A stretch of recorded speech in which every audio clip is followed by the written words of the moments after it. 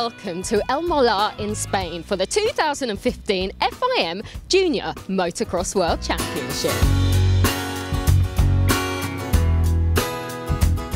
We will have three champions this weekend. One from the 65cc European Open class, the 85cc World Championship, and the fastest bikes from the 125cc World Championship plus the highly coveted Nations Championship with the best performing national teams. There's so much racing to pack into one weekend with hundreds of riders hoping to write their piece of motocross history. And this circuit on the edge of Imola is well up for the challenge.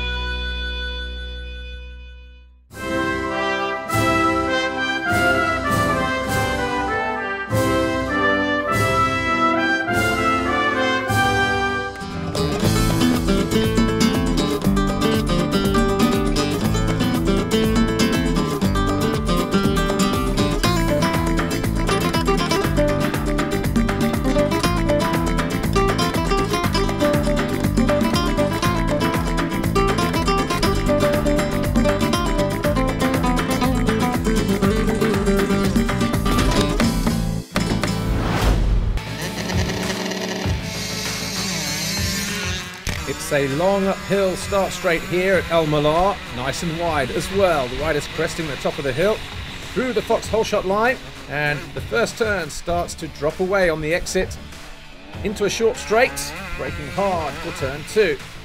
See the nature of the ground, hard and slick, a few loose rocks there as well. Onto the first plateau, over a single jump, then a tabletop, and then a short little step up. The ground falling steeply away on the opposite side, through a downhill sweeping left-hander and then down one of the first steep descents. That step down at the top of the hill, taking us through the right-hander and then the first tabletop through here starts the riders working their way through the valley to make their way to the highest point of the racetrack.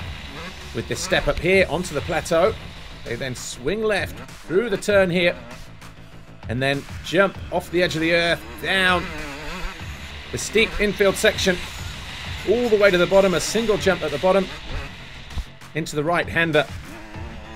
Get on the gas nice and early, second, third, fourth gear. Hit the huge step up section, again taking us to the summit of the hillside circuit here at El Molar. Then through the left hander before dropping back downhill again into the valley. Through the right hander, back on the gas, this time though, it's a short uphill climb. Then we peel away to the left, over the corner jump, continuing to turn left, over a short drop off, down into turn 12. And then we exit there and start to climb our way back up towards the finish line, jumping into the wave section, heading uphill all the time on the side of the valley, through the right, short straight into the left-hander. See the conditions here. Over this tabletop jump, dropping away on the landing. And then just a couple of corners away from the finish line. The riders head right. Uphill slightly, over the final jump, through the final turn. Past the finish line, a single jump takes the riders back onto the start straight. One rider who always draws a crowd is Liam Everts, who runs the familiar number 72 with his father Stefan, and the whole Everts dynasty are big fans of the high level of racing at the Junior World Championship. I think it's something nice for the kids and the families to uh, to have this kind of race and uh, to see also uh, for uh, you know uh, the teams and to see what the future is bringing from from the the young kids which are coming up. So it's a, it's an interesting race to see. It's always always a good atmosphere here.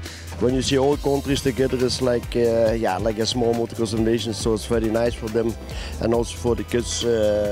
For me, a lot of fun to have my father around. we get along really well, and you know it's nice that he's also enjoying his grandchild to see him race he slowly gets more and more excited.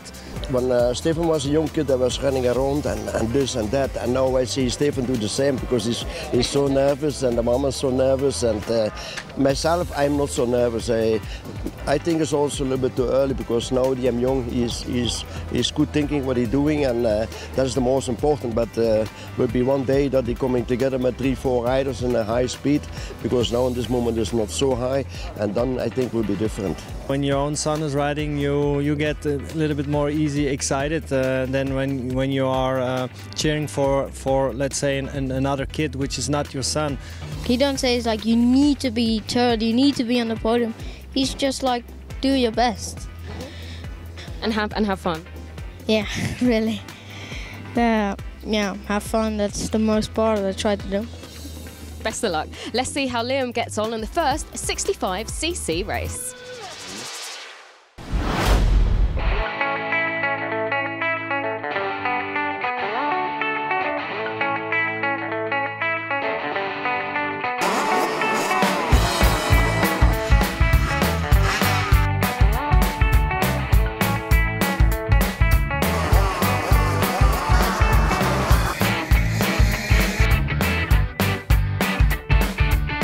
Race got underway then.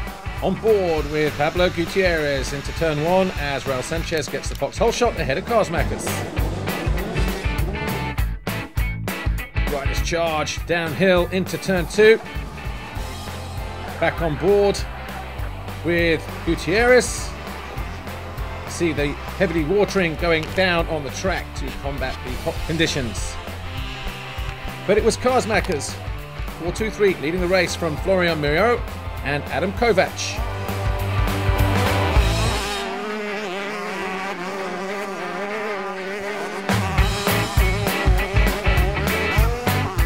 Riders charging around this circuit.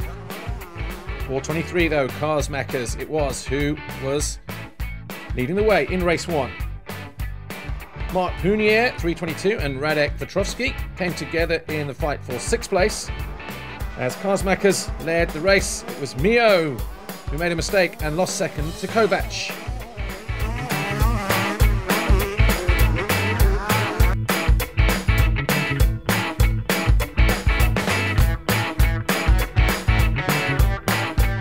Gutierrez in fifth place and closing in on Miot for fourth, but he just couldn't find a way through. Matvey Vopilov, 757 in third, ahead of Gutierrez and Miot in fourth. But the last lap, it was Karsmakers who won the race from Kovac. Vopilov was third in race one. Miot and Gutierrez were top five.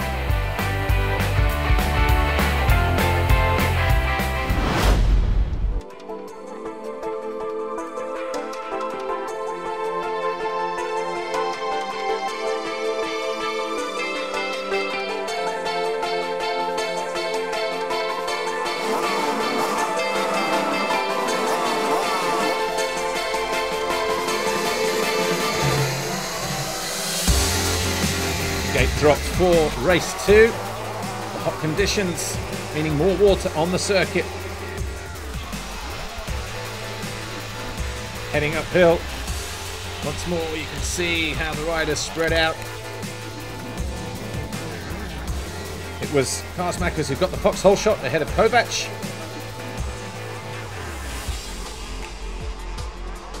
Karsmakers led the race from Kovac and Radek Petrovsky on the 5-2-5. Top three, though, were pretty close together, followed by Miot on the 247.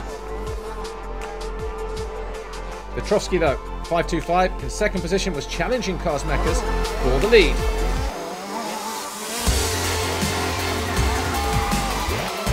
Karsmakers, though, maintained his lead over Petrovsky and Kovac with Miot on the 247 in fourth. Adrian Monville past Miot for fourth place. And just a bit further back, Martin Vahoda, 437 in sixth. On the last lap though, and Karsmakers eventually came home to take the win.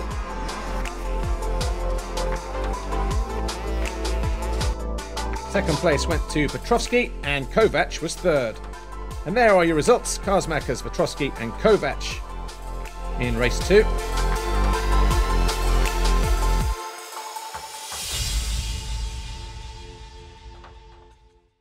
Podium time then for the 65cc Open Class riders and third overall Radek Petrovsky, who was sixth in the European Championship. Adam Kovac second overall, but your overall winner, Kay Karsmakers, who was second in the European Championship, but Eddie Hurd presenting him with his FIM Junior gold plate to signify that the rider from the Netherlands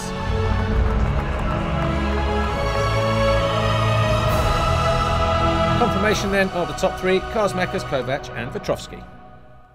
Kay Karsmakers, congratulations. You're the 65 Open European champion. Two wins in both motos as well. Perfect weekend for you. Yeah, it was a good weekend for me. Uh, the, um, the first week was good. I have holeshot and I am uh, first on the, on uh, the finish. And the second race I'm no, I am not in the first week, not holeshot. And the second race, I have holeshot, and I win the race. It's good for me. It's a good weekend. We have a whole host of Australian riders at this year's race, and one of the main hopefuls is Reece Bird in the 85 class. What are your thoughts of being here at the FIM Junior Motocross World Championship? I'm really excited. Um, it's a great event for me, and just trying to get used to this heat and get ready for racing. Now, there's always an Australian on the podium. Does that put any pressure on you to perform at this event? No, it doesn't. Uh, I know I definitely can get on that podium. I work really hard for this position, and um, yeah, I know I can do it. And of course, the FIM Junior Motocross World Championship is going to be hosted by Australia in 2018. That must be something to look forward to. Yeah, definitely. I'm um, really looking forward to it. Knowing the track and how the soil is, uh, already used to the heat and the weather and stuff. So, uh, what are you hoping to achieve this weekend? Definitely going for that win, but I'd also be really happy with that podium.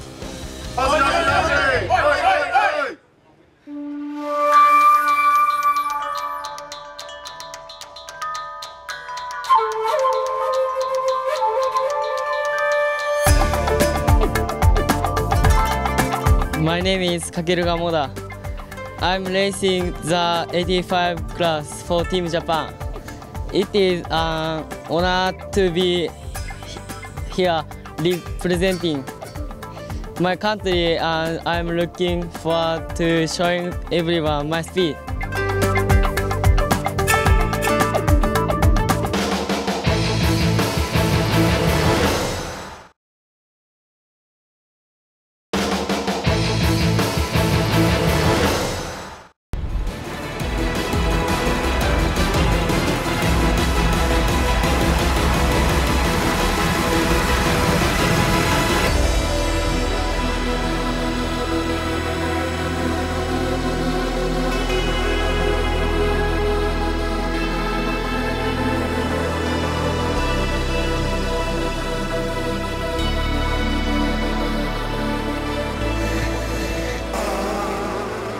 85cc race one and on board with Petroshin as Raffaele Giuzio almost crashed at turn one, but Ben Clark on the 101 did crash into the holeshot camera.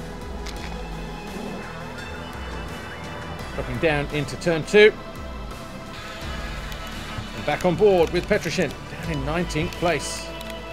But it was Baneston, number 77, who led from Moreau 225 and Raivo Dankers 401 with Kale Dormel just behind them on the number 20 machine. Baneston was having a good race as he continued to lead on the number 77 from Moreau. Dankers though, 401, found his way past Moreau and into second and found himself catching Baneston and then eventually into the lead. Baneston and Bastien Baudin also trying to find their way past the 77. Baudin, 403, got himself into second ahead of Baneston and Rennie Hoffer and Moreau and Ralph Mewison.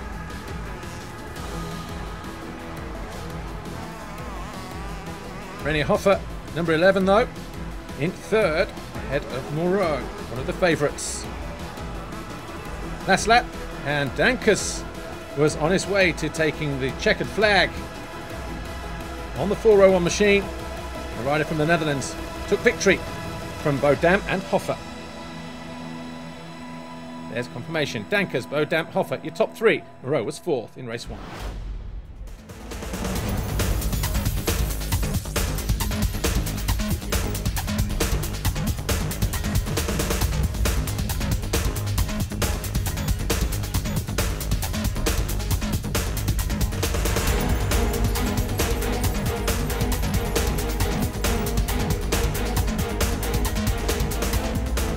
Start of race two. And as the riders charged uphill, it was Brian van der Klee on the 520 that got the Fox Holeshot from Rafael Giuzio, 220. Circuit now starting to get nice and rough. Fitness starting to come into play amongst these 85cc riders. Van der Klee, 520, led from Peter Polak, but had to defend hard. As Dankers on the 401 in third place ahead of Canture. Peter Polak on the 323 found his way past Van der Klee for the lead. And Dankers passing Van der Klee for second. Moreau also got through as well. Polak led from Dankers and Moreau. Polak riding a great race on the 313. Looked like he was running away with it for a while as well. But eventually, Moreau on the 225 found himself leading after posting two very fast laps ahead of Polak. A little bit further back, riding the 472, was Rick Elzinga in fifth place. But on the final lap, Brian Moreau was on a charge, being pushed by Polak all the way to the checkered flag. With Dankers down in third, Moreau was victorious in the race from Polak and Dankers. And there is your confirmation. Oh, Odan was fourth, Elzinga coming home in fifth. So your podium then for the 85cc Junior World Championship. Bastien Baudin, who was second in the European Championship one week prior, third overall here at the FIM Junior Worlds. Brian Moreau has to be content with second, but Raivo Dankers, the winner of the Europeans, and now the FIM Junior World Champion in the 85cc category. Confirmation of the top three. Dankers, Moreau, and Baudin. Raivo Dankers, congratulations. You're the 85cc world champion. Brilliant weekend for you. Plus, you also won in Latvia last weekend, so it's been a good two weeks. Yeah, it were uh, amazing uh, two weeks. Uh, train hard for it. Uh, yeah, we bring it so far to get two world and European champion. Yeah, I'm really happy about it, and yeah, I want to thank all my team, my sponsors, my parents, and yeah, thanks. Congratulations, Raivo. So how important is it for you to be at this event?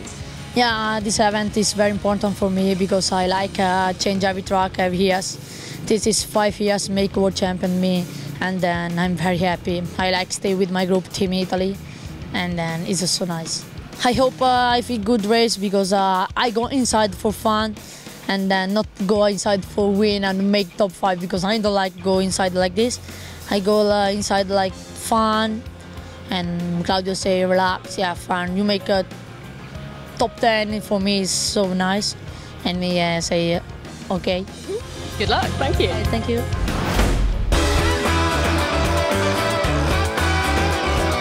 So what's your ultimate goal for this weekend at the Junior World Championship? Um, I think the most important thing is to make a good start and just keep going.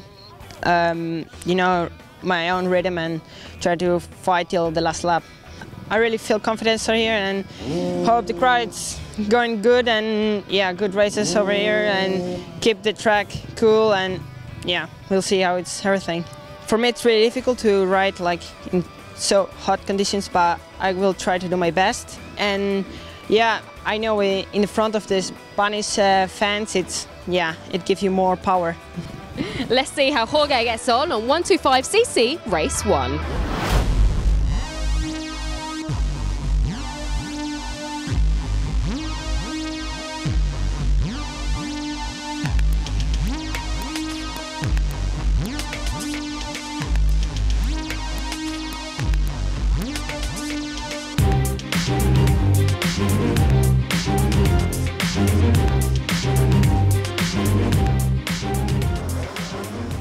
125cc race one and heading up the start straight on board with Filippo Zonta as Charles Van Eden, number 10, grabbed the Fox Holeshot from Eric Engeland on the 111. But it wasn't long though before the European Championship leader Maxime Renaux was leading the rest of the field on the 959. Kemea Yamaha. Van Eden was second. Ruben Fernandez Garcia, the Spaniard, was third. Prado, another Spaniard and favourite to lift the title, fourth. But he also made a mistake and almost crashed. Rubini got tapped there by Conrad Mewse, but they both stayed up. But it was Renaux who continued to lead from Garcia and Josiah Natzke from New Zealand. Hunter Lawrence, 46, was down in fifth place, but having a good ride. Renaux, though, on the charge from Garcia and Mewse. The Brit gaining speed and positions. Mathys Boisramé found his way past Prado to get himself into seventh.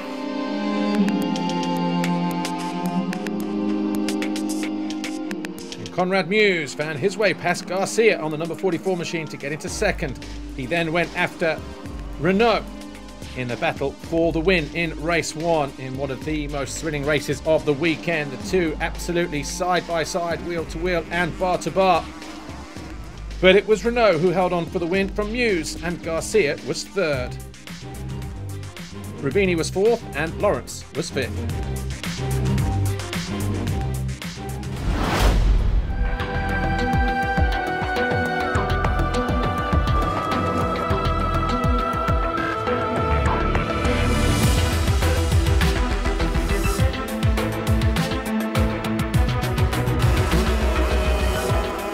Start of race two, and Filippo Zonta getting caught in the gate. Then heading uphill with Jorge Prado as Mewse, 44, gets the holeshot from Renaux, but Richard Zakina cuts into the inside to take the lead before turn two on that 102 machine. Conrad Mewse just there to the side of Prado. The two KTM Factory Junior riders duking it out in the early stages. Mewse, though, hanging on in second position, but it wasn't long before he was back in front. Renaux got himself in a second. Sakina was hanging on in third. Prado, though, getting passed by Kislagi. And charging downhill, Kislagi still holding the inside, the Italian, number three. Conrad Mewse and Maxime Renaux were providing the fireworks and the entertainment just like they did in race one. Renaux finding his way past the Brit to take the lead. Conrad Mewse responding though on his KTM. Hunter Lawrence found a way past Boisramé to get into fourth place, but Mewse was not letting the Frenchman out of his sights. Zakina having a great ride in third place. So too, Hunter Lawrence. Kislagi also well placed, but all eyes on this battle for the lead between the 959 Renaux and Conrad Mewse. Mewse knew that he had to find a way through to take the win and be crowned Junior World Champion. They were side by side, heading down the hills, and in the closing laps, he thought he'd found a way through. But it wasn't enough, the flag went out, and it was another win for Maxime Renaux. Conrad had to settle for second. The Frenchman was crowned world champion. Renaux, Mewse, and Sakina, the top three. Lawrence and Boisramé, the top five in race two. A good crowd gathered around the podium then, and your top three in the 125. Hunter Lawrence of Australia, second overall for Conrad Mewse, but your overall winner, Maxime Renaux on the Kemea Yamaha leading the European Championship in 2015 at the moment, but uh, three overall victories to his name so far. But leaving Spain with the gold plate and the FIM Junior World title. Maximum score as well. Renaux, your overall winner, you second, Lawrence third, Prado fourth, Maxime Renaux, congratulations. You are the 125cc world champion, but you had to work hard for it. That second race, how hard was it to defend that lead against Conrad Mewse? Yeah, it was uh, very hard with a hard track with many bumps and many lines. So Conrad takes the lead, and then uh, I must push to, to come on her, on him, and uh, then uh, it was big fight, and I take uh, the the lead uh, at uh, I think uh, 15 minutes. 15 minutes. So I'm so happy to win today. It was uh, very difficult with the, the the time. It was so hot, and I'm very happy.